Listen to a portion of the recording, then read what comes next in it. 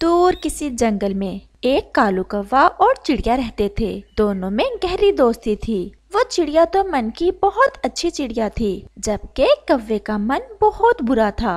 चिड़िया बहुत मेहनती थी।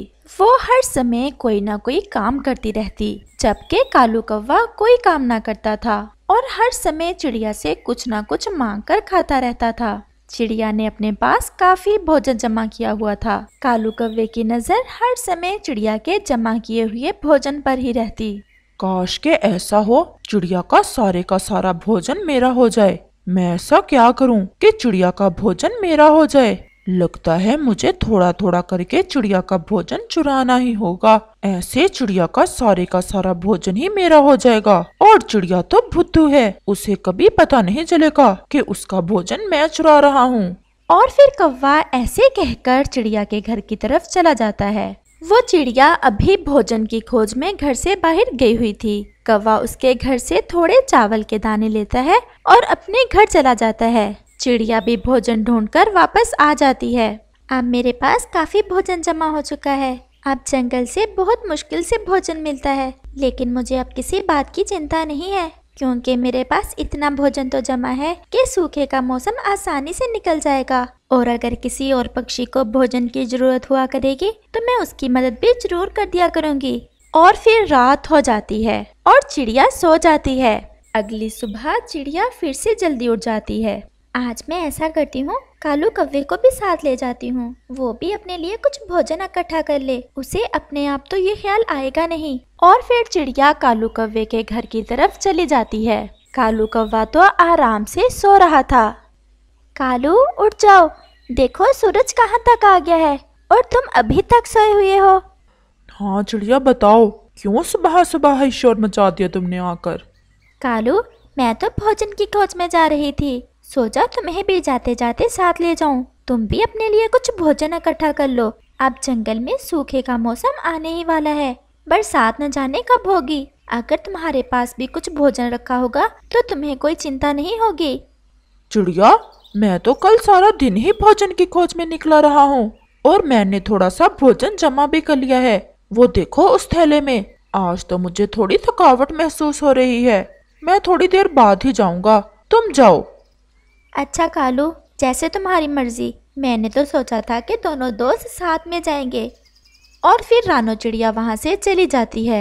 जैसे ही रानो चिड़िया जाती है तो कौवा फिर से चिड़िया के घर की तरफ़ जाता है। कौवा रानो चिड़िया के घर से एक थैला गंदम के दानों का उठाता है और वापस अपने घर आ जाता है। चिड़िया को भी जो थोड़ा बहुत भोजन मिलता है, लेकर वापस घर आ जाती है। ये मुझे ऐसा क्यों लग रहा है? जैसे मेरा जमा किया हुआ भोजन कम होता जा रहा है। शायद मेरा वहम है। चिड़िया बहुत थकी हुई थी, इसलिए वो थोड़ा भोजन खाती है और सो जाती है। ऐसे ही हर रोज कौवा चिड़िया का भोजन चुरा कर लाता रहा और फिर चिड़िया के घर का सारा भोजन खत्म हो जाता है। हाय भगवान, मेरा तो सारे का सारा भोजन ही कोई चुरा कर ले गया है। बस ये चंद दाने चावल के ही बचे हैं। वो चोर कुछ ज़्यादा ही जालिम है, जिसने मेरा सारा भोजन ही चुरा लिया। मैं अभी कव्वे के पास जाती हूँ। वो चोर को ढूँढने में ज़रूर मेरी मदद करेगा। फिर रानो चिड़िया कव्वे की तरफ़ चली जाती है। और जब वो कव्वे के घर जाती है तो कव्वे का घर भोजन से भरा देखकर हैरान हो जाती है। कव्वे भैया, ये इतना सारा भोजन तुम्हारे घर में कैसे आया? मेहनत से आया और क्या बैठे बैठाए आ गया? तुम बताओ तुम्हारे पास कितना भोजन जमा हो गया है? मुझसे तो ज़्यादा ही जमा हो गया होगा। कव्वे मेरा तो सारा भोजन ही कोई चुरा कर ले गया। चिड़िया फिर तो तुम्हारे साथ बहुत बुरा हुआ। अच्छा अब तुम जाओ। मैंने थोड़ा आराम करना है। वैसे भी भोजन ढूंढते ढूंढते बहुत थक गया हूँ। ऐसे कहते हुए कालू कौवा आँखें बंद करके सो जाता है और वो मासूम चिड़िया वहाँ से चली जाती है। ऐसे ही रात हो जाती है। कव्वे के दरवाजे पर दस्तक होती है। कौन आ गया कम वक्त इस समय? और कौवा दरवाज़ा खोलता है। वहाँ एक यात्री पक्षी खड़ा था। कव्वे मैं यात्री हूँ। बहुत दूर से आया हूँ। और मैंने सागर की तरफ़ जाना है। मुझे भूख बहुत ज़्यादा लगी हुई है। अगर आपके पास कुछ खाने को है तो मुझे दे दो। पहले तो तुम्हें शर्म आनी चाहिए। इतनी रात को मुँह उठाकर आगे हो और मेरी नींद खराब कर दी। और दूसरा यहाँ मैं तुम्हें भोजन बांटता नज़र आ रहा हूँ। कालू कौवा ऐसा कहकर दरवाज़ा बंद कर लेता है और फिर वो यात्री पक्षी चिड़िया के घर की तरफ़ जाता है। वो यात्री चिड़िया के दरवाजे पर दस्तक देता है। चिड़िया दरवाज़ा खोल देती है। चिड़िया मैं यात्री हूँ। बहुत दूर से आया हूँ। और मुझे सागर की तरफ़ जाना है। मुझे भूख बहुत ज़्यादा लगी हुई है। अगर तुम मुझे कुछ खाने को दे दो तो ये तुम्हारी कृपा होगी मुझ गरीब पर। आप ठहरे यहाँ। मेरे पास कुछ चावलों के दाने पड़े हैं। मैं आपको वो लाकर देती हूँ और फिर चिड़िया चावलों के दाने उस यात्री पक्षी को लाकर दे देती है। मेरे पास बस यही दाने पड़े थे। अगर और कुछ होता तो मैं आपको वो भी दे देती। बेटी, तुम्हारा दिल बहुत बड़ा है। तुम्हारे पास बस यही दाने थे, वो भी तुमने मुझे दे दिए। और एक वो कौवा है, जो तुम्हारे पड़ोस में रहता है। उसका घर भोजन से भरा पड़ा था। उसने फिर भी मुझे बेइज्जत करके अपने घर से निकाल दिया। भगवान तुम्हारे घर को हमेशा भोजन से भरा रखे। ऐसा कहकर वो पक्षी वहाँ से चला जाता है। जब चिड़िया अपने घर के अंदर आती है तो वहाँ एक चक्की पड़ी होती है।